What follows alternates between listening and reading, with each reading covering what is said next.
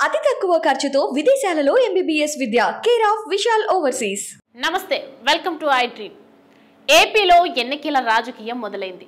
సమీకరణాలు వేగంగా మారుతున్నాయి. CM Jagan why not one seventy five అంటూ మరోసారి అధికారం పైన ధీమా వ్యక్తం చేస్తున్నారు. ప్రతిపక్షాలు ముఖ్యమంత్రి లక్ష్యంగా ఏకమవుతున్నాయి. టీడీపీ జనసేన పొత్తు లాంఛనమే బీజేపీ వైఖరిపై స్పష్టత రావాల్సి ఉంది. జగన్ సింగిల్ గానే పోటీ చేస్తానని స్పష్టం చేశారు. జగన్ తిరిగి అధికారం దక్కుతుందనే ధీమా వెనుక అనేక కొత్త సమీకరణాలు తెర మీదకు వస్తున్నాయి. ఏపీలో రెండు వేల ఇరవై నాలుగు ఎన్నికలపైన ఆసక్తి పెరిగింది. ఎన్నికల ప్రచారం అన్నట్లుగానే పార్టీలు పోటీ పడుతున్నాయి. పొత్తు రాజకీయంతో ప్రతిపక్షాలు సీఎం జగన్ను టార్గెట్ చేస్తున్నాయి. నారా లోకేష్ యువగలం పవన్ వారాహి యాత్ర చంద్రబాబు జిల్లాల పర్యటనలతో ముఖ్యమంత్రినే టార్గెట్ చేస్తున్నారు. తాజాగా బీజేపీ రాష్ట్ర అధ్యక్షురాలిగా నియమితులైన పురంధేశ్వరి జగన్ ప్రభుత్వంపై విరుచుకుపడుతున్నారు.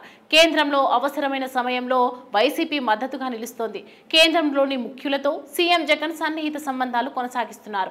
అటు ఎన్డీఏలో పవన్ కొనసాగుతున్నారు. టీడీపీ త్వరలో ఎన్డీఏలో చేరుతుందనే ప్రచారం కూడా సాగుతోంది.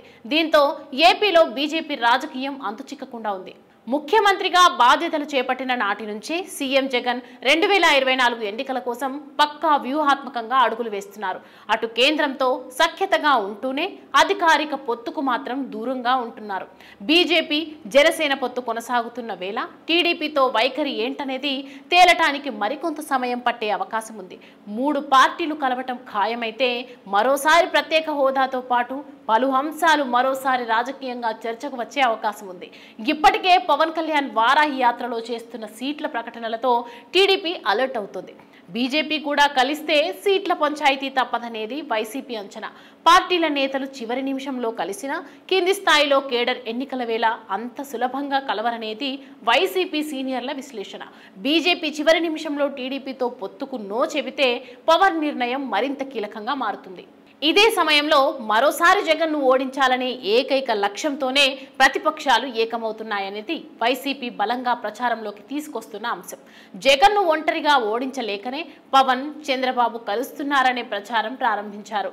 ఇక పవన్ తన యాత్రలో భాగంగా సీఎం జగన్ను ఏకవచనంతో మాట్లాడటం హెచ్చరికలు చేయటం చర్చనీయాంశంగా మారింది.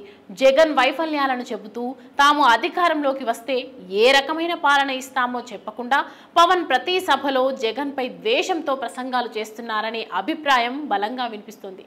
అదే తరహాలో చంద్రబాబు లోకేష్ తమకు తిరిగి అధికారం దక్కితే ఏం చేస్తామనే చెప్పే అంశాల కంటే జగన్ను అవసరానికి మించి టార్గెట్ చేస్తున్నట్లు విశ్లేషణలున్నాయి. పురంధేశ్వరి సైతం ప్రభుత్వంపై తీవ్ర స్థాయిలో చేస్తున్న వ్యాఖ్యలపైన చర్చ సాగుతోంది. అటు జగన్ మాత్రం తాను చేసిన సంక్షేమం తనను గెలిపిస్తుందనే ధీమాతో ఉన్నారు.